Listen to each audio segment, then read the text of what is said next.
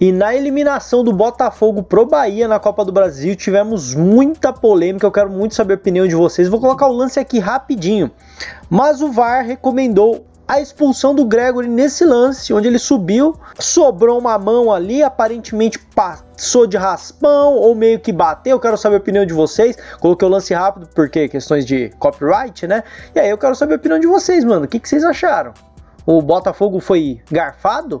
O jogo ainda estava 0 a 0 e depois no finalzinho do jogo ainda o Lúcio Rodrigues fez o gol do Bahia que classificou o Bahia, eliminou o Botafogo, que teve que jogar um bom tempo com um a menos. E o John Textor postou esse lance, né, com a seguinte mensagem: VAR Ei, árbitro, acho que vi alguma coisa. Árbitro, ok, eu acho que precisamos destruir um grande jogo. Isso sobre a expulsão do, do Gregory, obviamente, e ainda colocou um, um negócio de um binóculo ali, né, num microscópio, né, como se o VAR e, o, e a arbitragem estivesse procurando pelo em ovo para realmente estragar o jogo. Quero saber o que, que vocês acharam disso que protestou o John Textor.